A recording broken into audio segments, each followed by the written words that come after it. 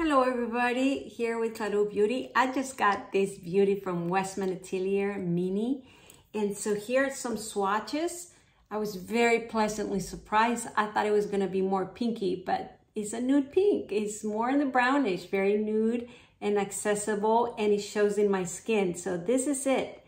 The next one is Westman Atelier Crochet, and this one is Westman Atelier Petal if that helps you for your comparison. So petal crochet, and this is a Mimi, which is limited edition. Uh, it came back. I didn't know it had come out before, but I love it. That's what I have on my cheeks with a little bit of the lipstick. And by the way, the lipstick is the new Tom Ford, the darkest of it all, Rose Rouge, and I just love it. If you want to see how I created this look, please check out my channel. Thank you. Bye.